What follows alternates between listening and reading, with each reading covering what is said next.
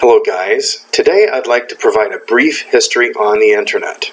As some of you are aware, what we recognize as today's internet first started in 1969 under the name ARPANET in the United States. That stands for Advanced Research Projects Agency Network. Now, to put this into context, ARPANET was not a commercially available network you could just personally tap into. It was a government only network that began as a military project, which was limited to, uh, only to computer systems in their walled garden, uh, mainly for military and educational institutions. The reason why this is considered to be the father of the modern internet is because it used TCP IP packets and protocols for transmitting data, and that's what we use still to this day as the core functionality of the internet. Uh, between 1969 and 1991, ARPANET expanded from just a U.S. military type project to something that, like I said, educational institutions uh, signed on to, especially in the 70s. Um, it's primarily was based on the West Coast and the Northeast, connecting uh, supercomputers uh, of that era to each other, and uh, basic terminals as well.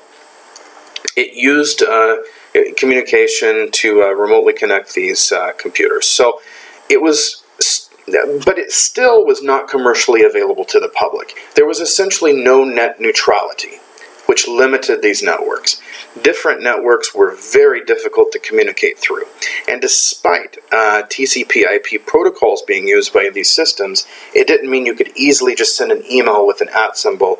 Uh, in the early days, it required a bit of programming knowledge to get an email to bounce through these various networks uh, to get to the end user you intended to deliver an email to. Also, different networks didn't share bandwidth freely. There were costs involved. Again, there was no concept of net neutrality. That has to be remembered. Basically, the internet before 1991 was a series of walled gardens, and they had to communicate with each other using much more difficult standards to get information transmitted.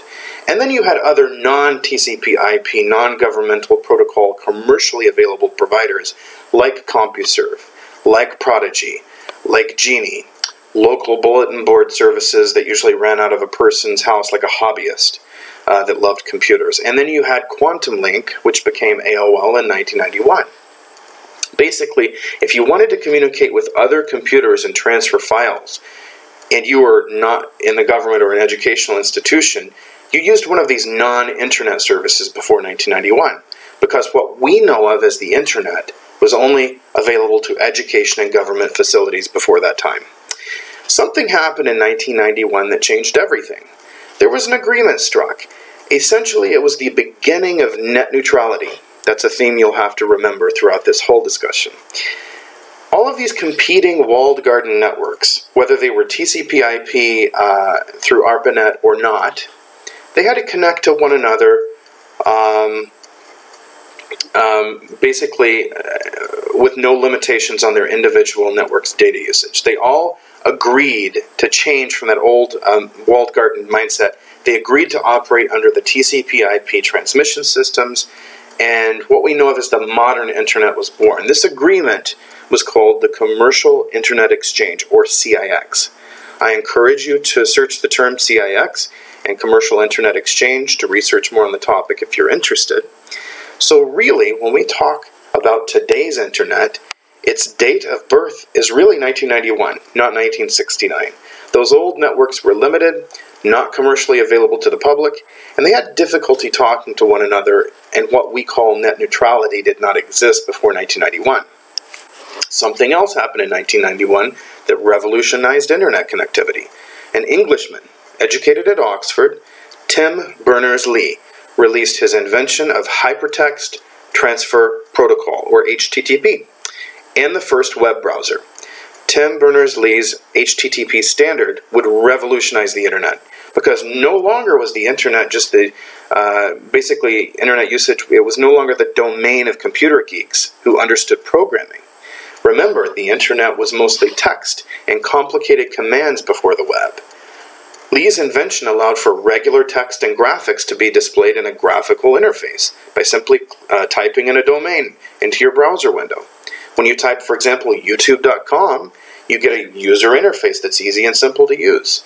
That is because of the work that was began by Tim Berners-Lee. So, in summary, what happened in the 1990s is that the internet and the online world exploded.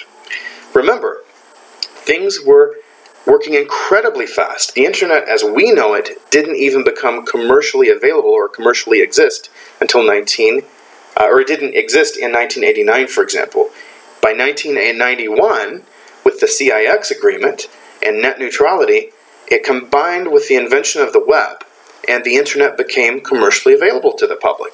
The former non TCP IP online services like AOL, Prodigy, CompuServe, they essentially became ISPs instead of their walled garden services.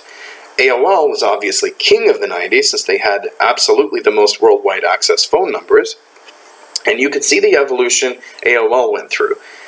In the early 1990s, AOL was a walled garden, non TCP IP online service with only AOL content and with a little bit of uh, limited external email services.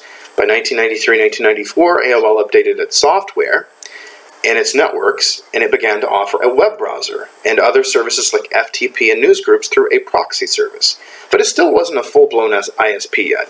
In 1996, AOL released version 3 of its software that included a TCP IP compliant dialer.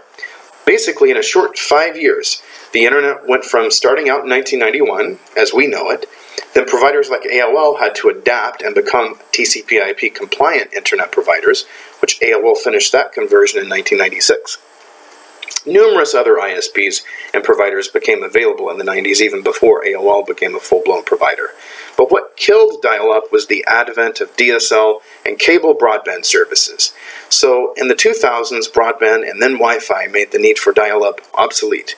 And that, my friends, is a brief history of what we call the Internet. It went from a messy set of walled gardens that couldn't communicate between them or couldn't communicate well.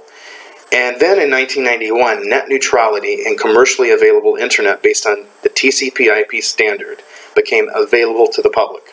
Networks agreed to route traffic over competing networks without the traditional limits, and it's a lesson to the importance of net neutrality, my friends.